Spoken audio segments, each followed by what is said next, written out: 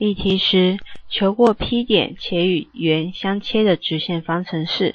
那首先，圆心坐标是零零，半径为一，设所求的切线斜率为 m，且过 P 点负二零的直线方程式，我们可以用 y 减掉一等于 m 倍的 x 减掉 P 点的 x 坐标负二。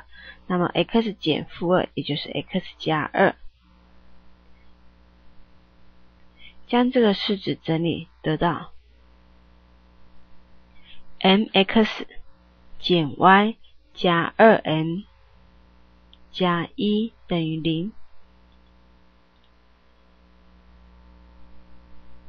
而圆心零零到切线的距离，我们用 d 来表示，距离 d 会等于半径 r。因此，零零到直线的距离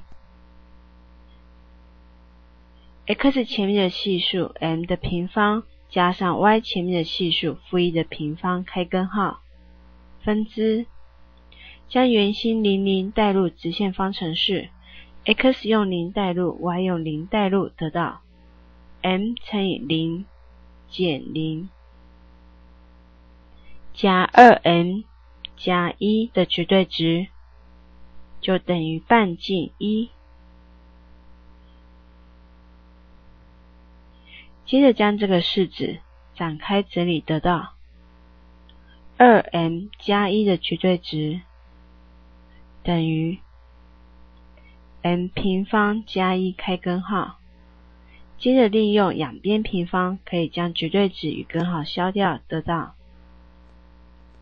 二 m 的平方叫做四 m 平方加两倍的二乘以二 m 加一，也就是四 m，再加一的平方就等于 m 平方加一。一项整理得到三 m 平方加四 m 等于零，就可以将 m 求得为零或负三分之四。那 m 求出来之后呢，代入切线方程式就可以将切线求得。第一个，当 m 等于零的时候，代入第四 m 用零代入，所以负 y 加一就等于零。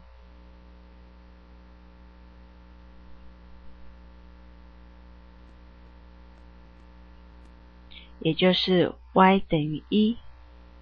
好，第二个将 m 等于负三分之四代入，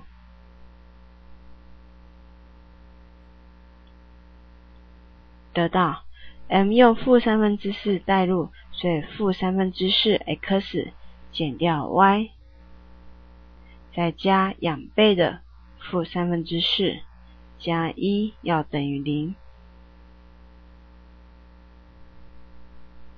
将这个式子整理，就可以得到四 x 加三 y 加五等于零。因此，过 P 点且与圆相切的直线方程式有两个。